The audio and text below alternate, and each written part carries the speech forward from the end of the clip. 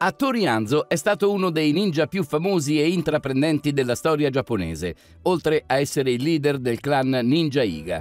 Hanzo è noto soprattutto per la sua fedeltà al daimyo Tokugawa Ieyasu, che sarebbe poi diventato il primo shogun del Giappone. Combatté al fianco di Ieyasu in diverse battaglie importanti, tra cui la battaglia di Sekigahara, che fu fondamentale per l'unificazione del Giappone nel tardo periodo Sengoku. Anzo fu anche incaricato di guidare un gruppo di ninja che proteggeva il castello di Edo, residenza ufficiale di Ieyasu.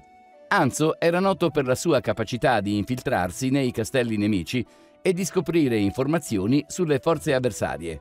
Nonostante la sua fedeltà a Ieyasu, Anzo perseguiva anche alleanze con altri clan ninja quando era conveniente per i suoi obiettivi.